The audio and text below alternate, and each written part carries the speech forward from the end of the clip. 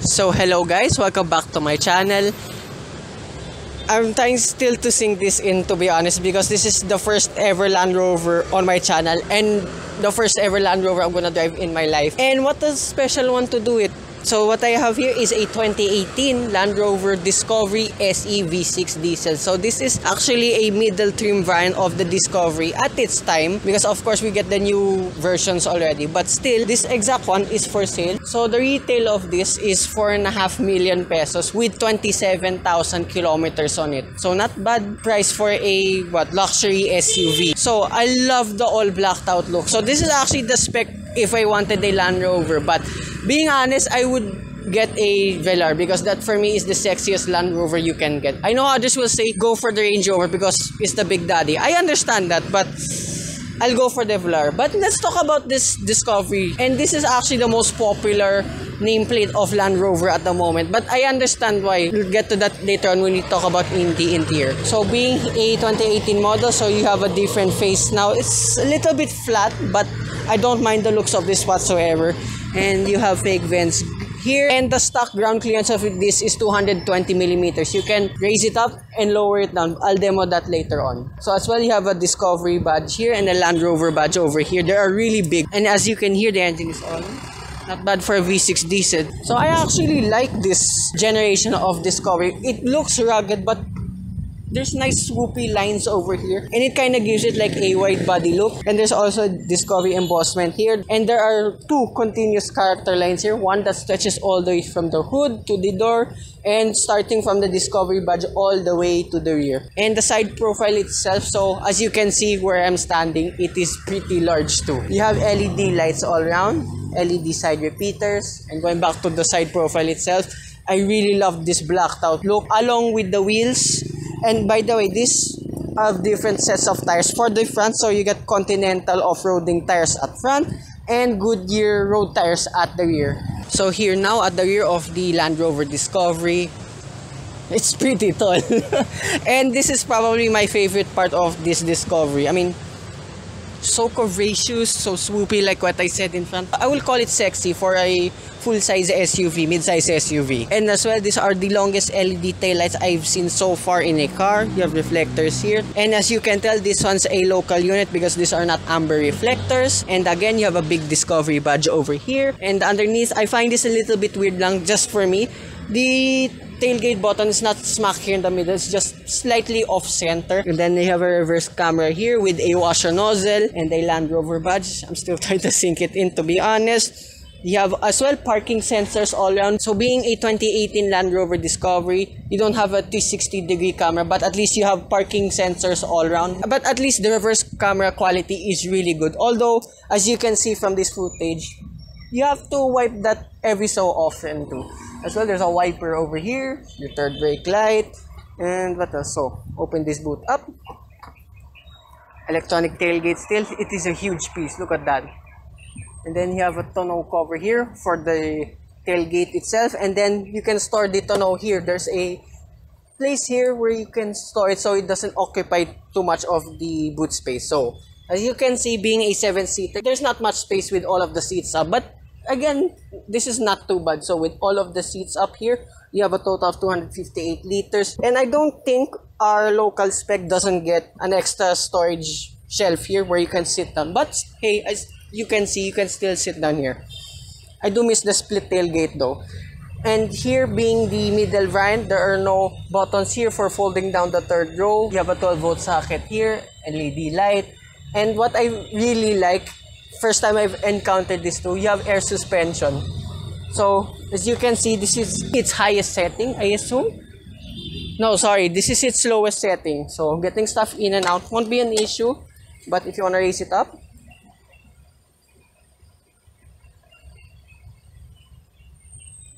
So this is its maximum ground clearance now. So, oh, oh god, that's really high. So it won't be as high as a Land Rover Defender, but close enough. So as you can see, it's really high. I can't even sit down normally now. But then again, there's that use of the buttons going up and down. That's so sick.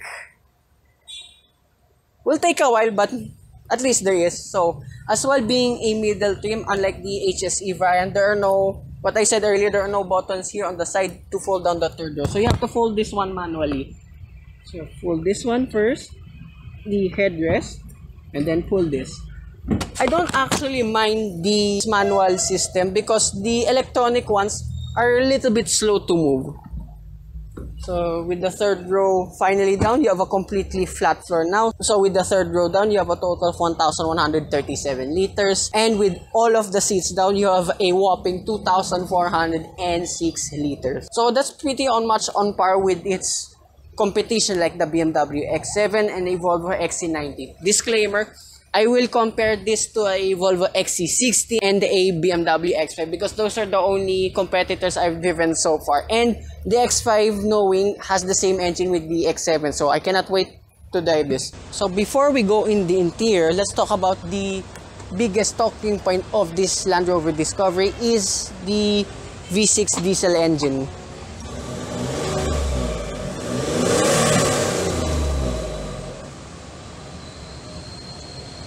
Right.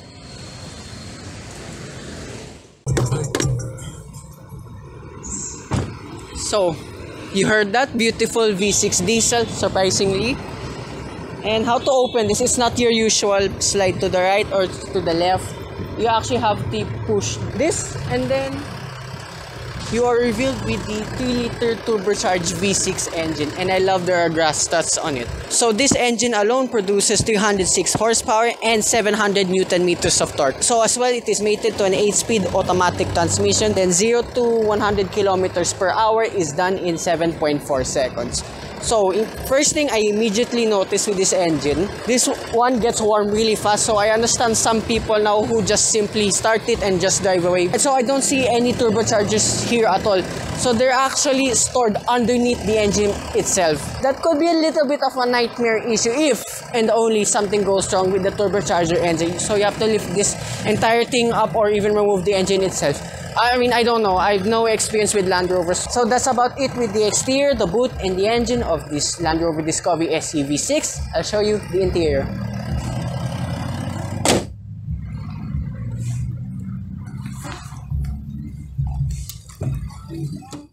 So this is the interior of the Land Rover Discovery.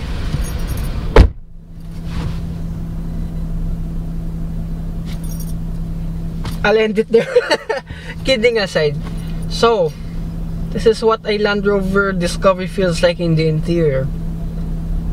Wow. And as well, when I was being revved with oil in the back, just kidding, it's just dusty. I noticed the engine does not shudder comparing to a, what, I'm gonna say the BMW X5 is really smooth, but I find this a tad smoother. It's not even moving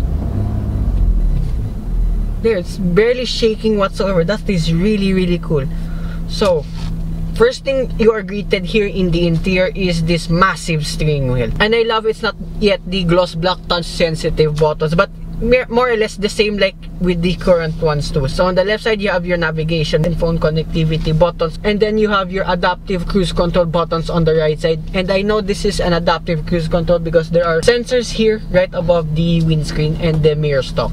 And as well, surprisingly, for this Land Rover, there are paddle shifters. They're plastic, but hey, at least there is. And I just realized now, this is the first time as well I touched the steering wheel. This is one of the softest and best steering wheels I've ever held. Like, this is so soft. Oh my god. It's like comparing that I'm touching a girl's hand for the first time. That's, that's how Uh, I'm speechless. That's how amazing this steering wheel feels. And unlike some car brands, in the middle of the steering wheel itself, instead of your usual brand name, this one is the model name, the Discovery. And then in the instrument cluster, you have an analog speedometer, analog tachometer with a digital display right there in the middle. I don't even know how to use it. Is it this one? Oh. So correction above your phone controls is actually the controls for the digital display there in the middle. I will leave it in the fuel economy. wherever that is. There we'll get back to that later. So being as well a 2018 model this has an infotainment screen but albeit without Apple CarPlay and Android Auto. But surprisingly the navigation is pretty accurate and is really responsive too. Like I mean it's not really smooth comparing like the sakes of BMW but it's close enough. And then yet again going back the reverse camera is really excellent. And I know some models like for example in UK you have to pay an extra to avail a reverse camera.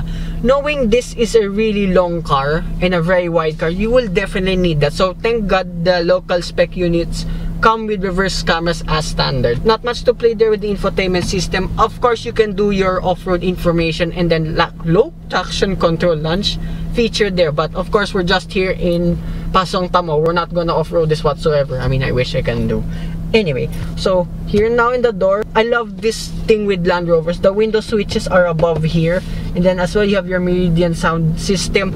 This is the best speakers I've ever heard. I will not be able to play music for obvious reasons, but better than the Harman Kardon system of BMW. So below the speakers, I love your door handles integrated with the door itself and then you have your lock buttons here and then you have cubby spaces and bottle holders on each side fits my big water jug perfectly then the left side of the dashboard you have your air conditioning vent your electronic tailgate button I thought this was a headlight lever adjustment. This button is actually the brightness for the infotainment system.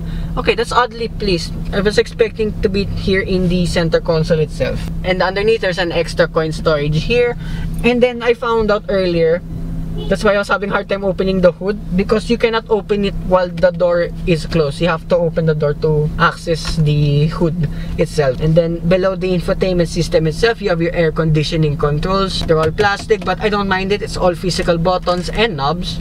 And the aircon of this is pretty cold. I mean, I'm just at level 2 fan it got cold really really fast in here. And then below the controls you have a cubby space and a 12 volt socket. Fix my phone perfectly. I noticed immediately comparing with UK spec models there's no mga kabombo mga nation mga dagdag nating balita and I noticed with UK spec models on the side of the console box there's no extra storages. It's just blank and then I love the rise up and down of this gear lever. It's a knob as well. I have to get a little bit used to that because I was doing that earlier. And then I love the aluminum trims here. You have your driving modes here. So you have grass gravel mud ruts sand rock crawl mode. Oh special programs off. So I don't think there's a sport mode button here whatsoever low range. I'll keep that off. Hill descent control, electronic stability control button. I was expecting that on the left side, so it's actually here. And then you have your air suspension buttons. I will put that as low as possible later for obvious reasons. And then you have your very nice electronic parking brake here too, down below. And then on the right side, you have a cubby space here. Two cup holders with rubber grips, fits my water jug perfectly. And then there's a space there for a phone, fits it perfectly too. And then glove box, okay it's short but it is really wide. And I love the dashboard too. There's white cream leather here along with your start stop button. I'm not a fan of that because it's too small. I was expecting it to be metal too but it's fine. And then above the dashboard still squeegee material here. And then above here black ceiling. Oh okay just notice now. So comparing with the HSE top of the line fan there's no sunroof there for the third row and then flanking the center console box itself, there are armrests here. Console box itself, it is wide. Open it up. You have two USB ports, 12 volt socket, and a plastic tray here. And then further down below, fits this Land Rover manual. It is pretty deep too. There's no cooling fixture for this specific Discovery SE2. I think that only goes for the HSE variant. Oh yeah, the seats are cream too and they're very soft very comfortable probably the one of the best seats I've ever sat into. Surprisingly there's bolstering we'll get to that in a bit too. And then above here you have your sunglasses holder LED lights safety reminders just in front of the mirror. And then visor you have a vanity light with three halogen lights or LED no, sorry LED lights. They're oh it's a long piece though but sadly they don't extend but it's fine that feels so nice to the touch. So that's about it here in front of the Land Rover Discovery. Show you the second row. So this is the second row of the Land Rover Discovery. Tank-like build.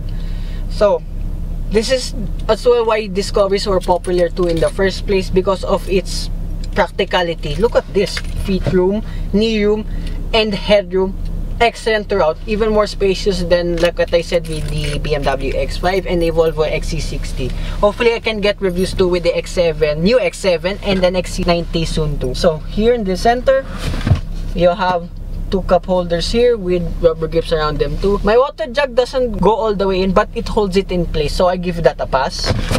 And above too, you have LED lights. And then surprisingly behind both front seats you have two map pockets and then there's as well LED light for your feet comparing with like again BMW and then in the center itself you have a weird cubby space here. No idea what you'll put there. Further down below you have two 5 volt sockets and then there's an extra storage there in between. Then if I sit here in the middle surprisingly no transmission tunnel whatsoever. Put your feet wherever you want. And then sitting here in the middle is as good as the left and right side of the seats. I think you can fit a fourth or fifth person for short trips because that's how wide this discovery is. So same layout in front your window switch is above here along with your meridian sound system. Yet again my favorite part the door handle is integrated in the door itself and then you have smaller cubby spaces and bottle holders on each side now and there's halogen lights underneath. I just saw it. Surprisingly my water jug still fits there. And then i love this black headlining here. And then there's a hump here so gives it a little bit better headroom. And actually the space for your sunroof. That only goes for the hse model by the way. Isofix anchor points they're not covered in plastic. And you thought we were done? Let's go to the third row. Here now in the third row of the land rover discovery so far, this is one of the most spacious third rows I've experienced in its class. Well, in terms of the premium luxury bands. So, feet room, knee room is excellent. Even my headroom, look at that. And unlike the front and second row, there's not much toys here. But there are a lot of quirks still. So, like, you have cubby space here, along with a 12 volt socket on each side. And I'm not sure if these are cup holders, but I think it looks like it so my water jug does not fit there anymore. And I like you can still see the tie down hooks on each side and they're metal too. Oh LED lights here too. They're pretty bright too. So with that it let's go for a drive.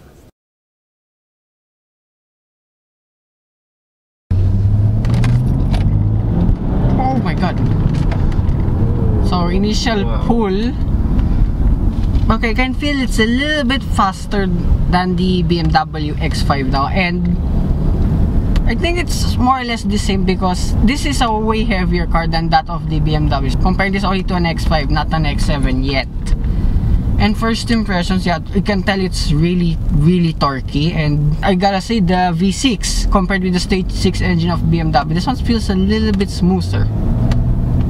And that was just in normal mode. As well, FYI, I forgot. So there's no official drive mode, but it's Oh, just on the gear sorry. lever itself.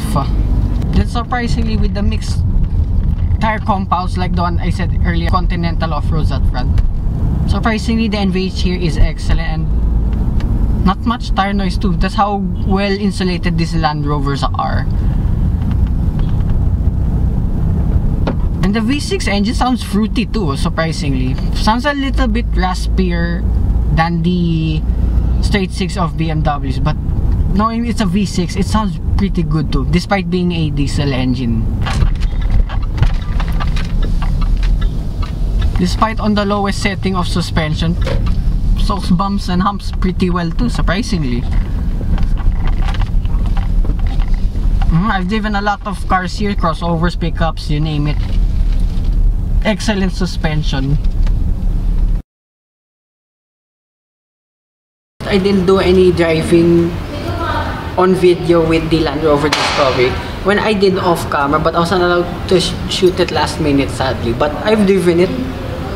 It's crazy. It's no BMW of course but that engine is so punchy and torquey and as well being a Land Rover the sting I found the ratio of it is kind of slow but and there's a lot of body lean too but surprisingly not bad for a what almost two and a half ton vehicle but straight line performance is nuts sport mode just transforms the car like crazy and then put it back into drive, it will not activate manual mode. Surprisingly, I never knew that about Land Rovers. Although with the mixed set of compounds, like what I said, the front's not too bad too, despite the off-road setup at front and then road tires at the rear. The NVH there of Land Rover, that's what good with Land Rovers in the first place. And for what the daily use, to be honest, I think I'll take the Land Rover home over a BMW. I mean, if you just want something comfortable and fast enough, get the Land Rover Discovery and the specific one. Remember, it's for sale. But for the BM, if I'm like going around in the twisties, going to longer trips, I'll take home a BMW. That's all I have to say. And then this is the biggest surprise for me. Despite almost being two and a half tons, a V6 diesel with that much power and torque, my best fuel economy was 14.3 liters per 100 kilometers, which is 7 kilometers per liter. Not bad at all for what it is. Of course, it won't be as great as the X5's 9 kilometers per liter, so I think more or less the X7 will be the same. But for that Land Rover, that is not bad at all. That concludes my review of this 2018 Land Rover Discovery. You can contact Ma'am Jen for further inquiries, and remember that one costs 4.5 million pesos it's worth a steal. And if not mistaken, there's still 2 years free servicing and 2 years warranty left with that Discovery SE V6 diesel. Hope you guys like and subscribe and I will see you with more future car reviews and hopefully more Land Rover reviews coming right up. Bye-bye.